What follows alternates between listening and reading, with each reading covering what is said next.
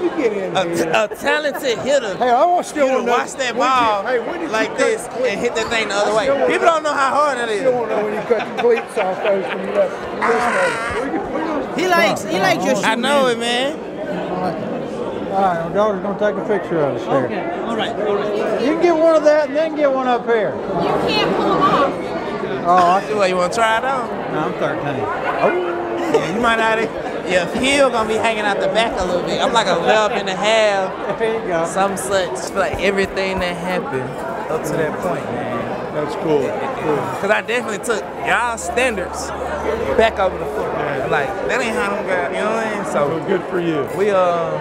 Well, you made that my day huge. saying that. That You was made huge. my day. Yeah, I don't think you realize how big that was. That was huge. The day that we beat Alabama because of you. It's a great day for all of us. Oh my gosh, like it's up there with I have three children.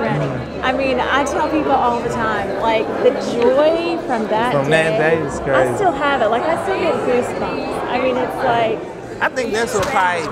I don't really, I don't really look. The play itself is not really too much what I care about. I care about the the enjoyment for the university. I think that's what get me excited. I be like, because it because it was a great time for everybody. right. Ladies and gentlemen, 2019 Club Hall of Fame inductee,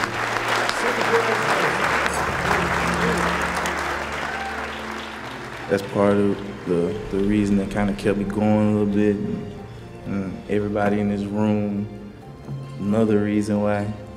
See Coach B, great um, example for me.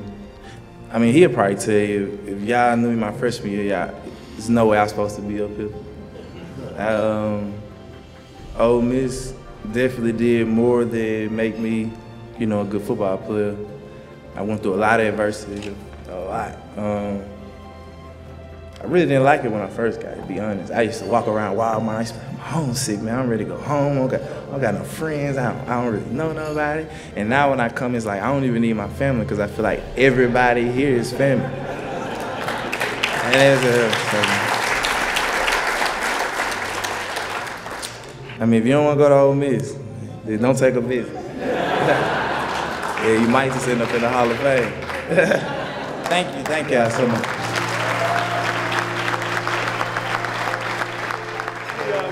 What do you think about it? Who's this? Who- who- That's my son right here, AJ. Say what up to the camera, man. What up? Get in up. What up? You, are you proud of that? Yes.